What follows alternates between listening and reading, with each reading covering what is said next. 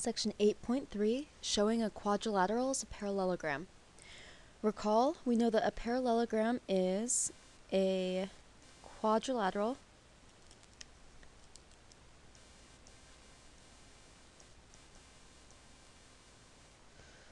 with both pairs of opposite sides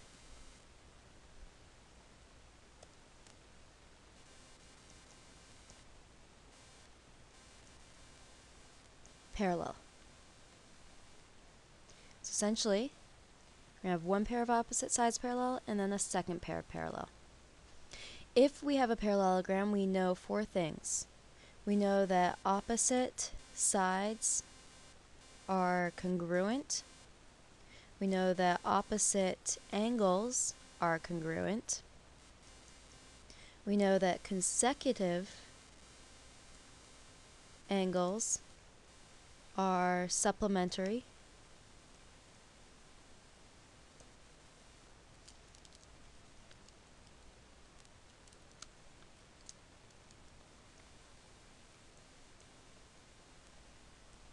And we know that diagonals bisect each other.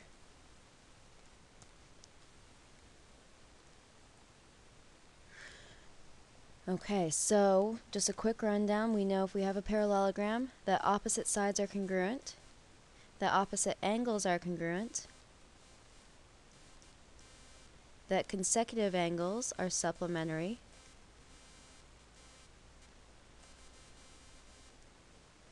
and that our two diagonals will bisect each other.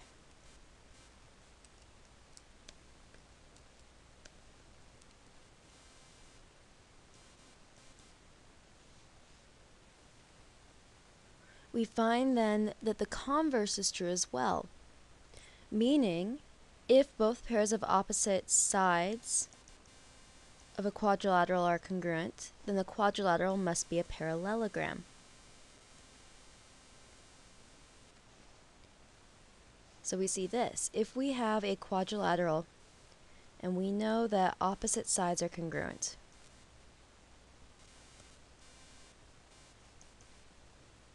Well, if that's the case, we could draw a line and see that triangles are congruent. Triangle ABD is congruent to triangle CDB by side, side, side. If that's the case, then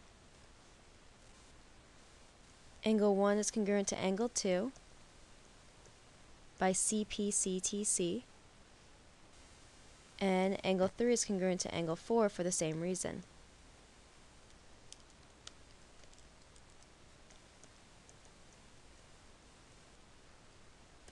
If angle 1 and angle 2 are congruent, we have two lines cut by a transversal where alternate interior angles are congruent. This means that those two lines, AB and CD, must be parallel. So AB is parallel to CD. Similarly, if angle 3 and angle 4 are congruent, again we have two lines cut by a transversal where alternate interior angles are congruent. This means that BC is parallel to AD. And the reason for both of these is the converse to the alternate interior angle theorem.